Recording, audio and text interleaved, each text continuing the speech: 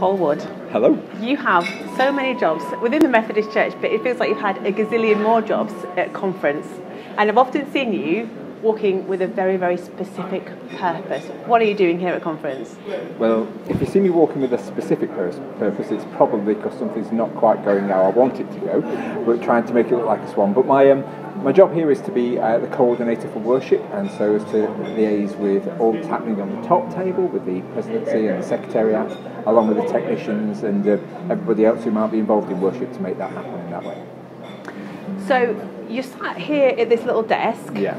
And so, talk us through what kind of uh, what kind of is going on with your with your job. Well, there are various things. So we've got over here. You'll see that we're on comms. That just means that I can talk to um, the all the guys at the back, all the technicians. Yeah. So if there's something that we need to shout. Now, normally in the normal conferences, it would be every hour or so.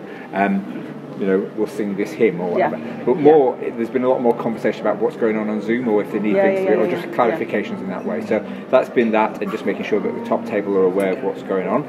Um, likewise, I'm on Zoom on the Zoom call here. Nobody can see me, but I can see what's going on. So, but people who've been watching online, you've often sent them a message. Sure, that's you, and you're doing it from this computer. that's right. so, uh, the reason they can't see me is because there are different things happening in different times. I have to disappear. And you haven't got your makeup on. no, that's right. And I've got to wear a mask because we're in the hall. Yeah. yeah. Um, but um, yeah, I'm here. Um, I haven't really got an official role other than to make up things. I think on the hoof or to remind people. Dog's body, gopher. Somebody's got to do it, haven't yeah. they? All that. Yeah. So that, that's that sort of thing. And then we also operate in the midst of that clutter. The two. Um, tribunes that you mm. see on left to right over here, uh, we can make them go up and down. Do I play? Do you want to do it? Let's, let's do it. No, you can do it. Look, over oh, here, okay. on these buttons okay. over here. So that you see there's a, um, a one and a two, and if you press that, and hopefully we can just get a quick picture of one. No, I've press broken it. Just help the other button might help.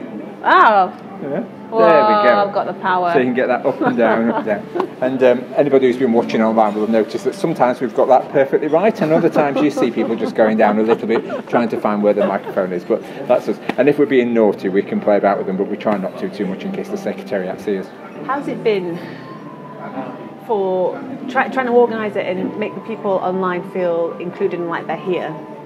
I think to us that's been really important. You know, um, we know there are four fifths of people in the conference out online and a smaller group here. So it's been important for us to include people in, in the active worship, to include them in the readings and in that type of way. We recognise that it's um, for nobody it's a perfect experience, you know. Yeah. So musically, you know, nobody's able to join in. In fact, if you're at home, you've got more of a chance because at least you Absolutely. can sing out in your home study. I see people online; they're like, "I'm the best time I'm like this." Standing still, I know. So aware of that, and that's um, you know, real challenge. When we we shaped all the liturgies well before conference, of course, and so last week or the weekend before conference, we were rewriting them and reshaping them in that way. So that's been, and we continue to change it. So, of course, the preach service that we had this morning was a communion service up until yesterday, and we reshaped yeah. all that yeah. as well. But people can see the communion service mm. online. It, was a, a, service that was uh, commissioned by the president for her yeah. actual theme, so it'll be there and other people can use it. So that'll be a thing that people get to get. Just to end with, can you tell us a story or something that's gone, that's made you lose sleep, something that's gone wrong that nobody would have known about? Well, maybe a couple. There was one that made me lose sleep at the beginning of uh, the presbyteral session when um, I'd arranged for a number of uh, districts to um, bring the little glass holders, you know, the trays that you yeah. do all that. Yeah. I'd said to them, um, could you bring me one of these? Because we've never done communion this way in, yeah. in, conference before, but of course we've got to use little glasses.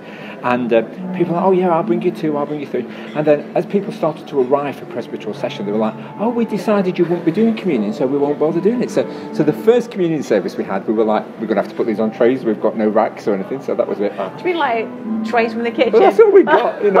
I was like, can, I mean, I lay awake at night thinking, well, can I make holes in boxes and things like that? But we, eventually we got one tray, thank you, Darlington, and uh, we made that happen.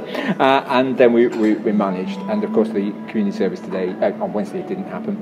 And I guess the one that um, I don't think anybody's fully aware of, but was the when we had the Love Feast um, oh, on Tuesday, yeah. because the Love Feast was planned to be better for people online than it was in the room because we knew people wouldn't be able to talk to each other, social distancing so well. And we'd planned to put people into breakout rooms of four. And when the guys at the back pressed the button for uh, going into fours, Zoom just went into freeze mode for ages.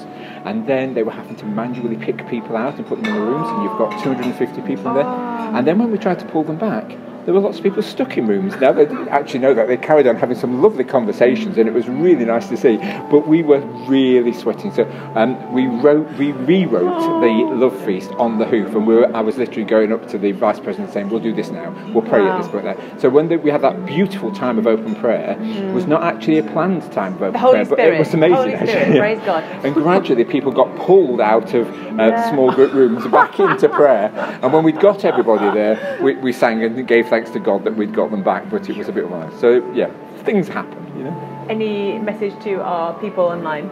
I want to just say um, it's been really good to have you at conference. We are hoping and praying that next year's conference will be much simpler than the last two years.